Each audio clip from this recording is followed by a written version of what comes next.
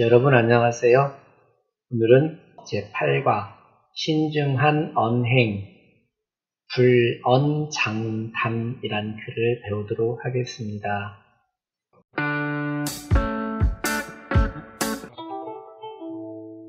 선인들이 남긴 일화 중에는 우리 삶에 영향을 미칠 만한 감동적인 이야기가 있습니다. 배려와 나눔, 열정을 가득 품은 선인들의 일화를 통해 우리는 바람직한 인생에 대해 고민하고 미래를 계획하는 데 도움을 얻을 수 있습니다. 그럼 오늘 제8과 그런 장단이란 글을 배워보도록 하겠습니다. 본문 해석을 또박또박 같이 해보도록 하겠습니다.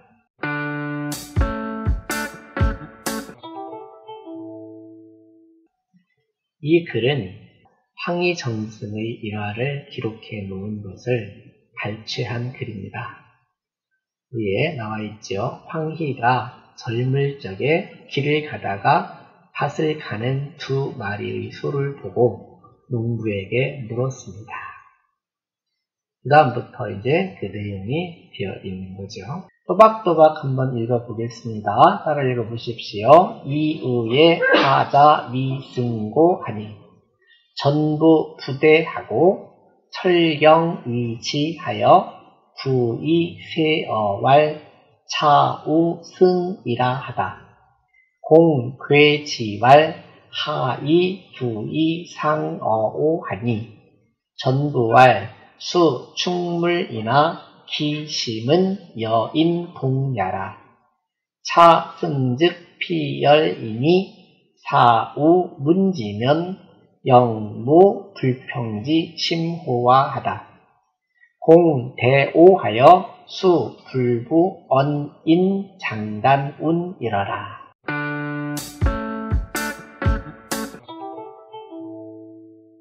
이우에 하자 미승고하니 두이자 소우자지요. 두 마리 소 중에 하자 하는 어찌하, 무엇하, 누구하, 어느하 이렇게 되거든요. 여기서는 어느 하자가 적혀있네요. 자자는 본래는 놈자, 사람자 이렇게 쓰이지만 여기 본문에서는 겉자자로 해석을 합니다. 그럼 하자 해석할 수 있죠. 어느 것이 위, 위는 될 위, 승자는 나을 승 해석할 수 있죠. 위승 하면 나음이 되는가. 하자 위승고 하니 어느 것이 나음, 나음이 되는가. 두 마리가 있으니까 어느 수가 더 힘을 많이 쓰고 더 기운, 기운이 센지를 묻는 문제죠. 전부 부대하고 철경이지하여 부이세어왈 차우승이라 하다. 전부 밭전자 아비부자지요. 전부는 밭에 있는 아버지, 즉 농사를 짓는 사람 이렇게 해석할 수 있죠. 농사꾼 이렇게 할 수 있을까요? 농부라고 하는 게 좋겠다. 농부가 부대하고 대답하지 않고 대답하여 대자예요. 철경이지하여 철자는 마칠 철, 끝낼 철, 경자는 밭갈경, 철경 하면 밭갈기를 마치고 밭갈기를 끝내고 그리고 어조사 이자는 업무하고 이렇게 연결됩니다. 밭갈기를 마치고 그리고 지하여 지는 이를지 다다를 지자죠. 이르러서 부이세어왈 부는 붙일 부 귀이 귀에다 붙이고서 세어 세는 가늘 세자예요. 가늘 세 가늘게 말할 어쩌니까 가늘게 말했다. 요즘 말로 하면 뭘까요? 귓속말로 소곤소곤 말했다. 그게 되겠죠? 차우승이라 하다. 차는 이차자예요. 이 소가 맞습니다. 라고 하다. 공, 괴, 지 왈, 하 이, 부 이, 상, 어 오 하니. 공은 옛날에 변집 자제분들을 높여서 하는 말입니다. 공께서는, 당신은 그 말이에요. 당신이 괴지, 괴는 이상하게 여길 괴, 지는 그것 자죠. 그것을 이상하게 여겨서 말하기를 여러분 그것 짓자는 뭘 말할까요? 귓속말로 말한 거죠. 밭갈기를 다 하고 귓속말로 말하는 것. 하이, 하이, 하는 무엇 하다를 해석해 볼게요. 하이, 이는 까닭 이 자예요. 무슨 까닭, 무엇 때문에 부이상어, 귀에다가 붙이고 상자는 서로 상자지요. 서로 이야기를 하는 고 하니 전두할 수 충물이나 기심은 여인 동야라. 전부가 말하기를 농부가 말하기를 수 수는 비록 숫자예요. 축은 가축 축 길을 축 이렇게 하는데요. 물은 물건 물 여기서는 소지요 소 충물은 가축으로 기르는 소라 하더라도 비록 기르는 짐승이라 하더라도 기심은 그 마음은 여인 폭녀라 여자는 누구누구와 계속이 됩니다. 사람들과 같습니다. 무엇을 말하고 있죠? 비교를 하면 싫어할 것이다 라는 말을 하고 있는 거죠.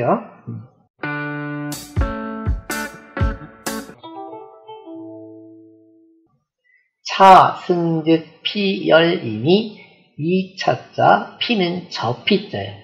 이 소가 나으면 즉은 곧직자예요. 곧저 소는 모자랄 테니 승은 이긴다, 낫다, 좋다 그런 뜻이고 열은 열등감 할 때 열자예요. 모자라다, 부족하다 그런 뜻이에요. 이 소가 나으면 저 소는 부족할 테니 사우 문지면 여기 사자는 하여금 사자예요. 그래서 소로 하여금 문 문자는 들을 문자고 지는 그것 지자지요. 그럼 소로 하여금 그것을 듣는다면 그러면 잘한다고 하는 소가 들으면 우쭐될 거고 모자라다고 하는 소가 들으면 불평할 거고 이해가 되시겠죠? 영무 불평지 신호와 영자는 어찌 영자예요. 끝에 있는 어조사 호자와 같이 쓰여서 어찌 뭐뭐 하겠는가 이렇게 해석을 합니다. 무 없을 무자지요. 불평, 불평하는 마음, 불평지심. 여기 지자는 뭐뭐 하는 이렇게 해석이 되네요. 그러면 불평지심, 불평하는 마음, 무불평지심, 불평하는 마음이 없다. 영무 불평지 심호와 하면 어떻게 될까요? 어찌 불평하는 마음이 없겠습니까? 라고 하다.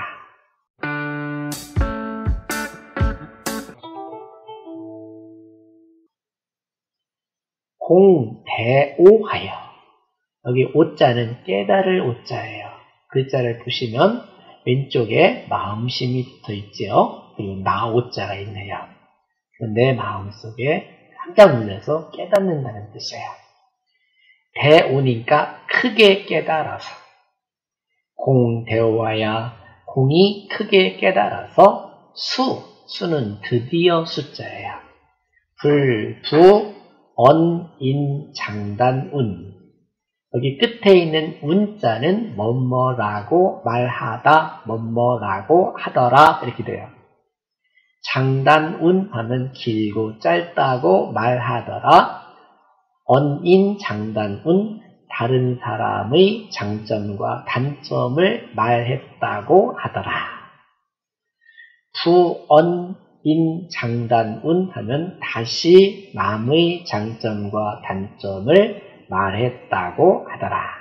근데 앞에 많이 불자가 있잖아요. 그러면 드디어 다시는 다른 사람의 장점과 단점을 말하지 않았다고 하더라.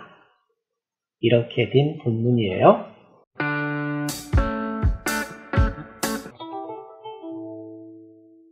옛날 서당 방식으로 한번 읽어보겠습니다. 잘 들어보시고 흥얼흥얼 따라해 보셔도 좋겠습니다.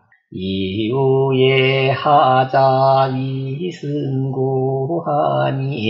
전부 부대하고 철경이 지하야 부이세어왈 좌우승이라 하담 공쾌지왈 하이 부이상어우하님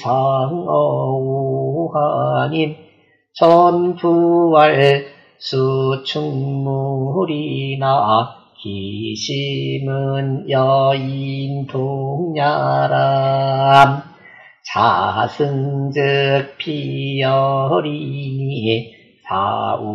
사우문지면 영무불평지심후하담 공태우하여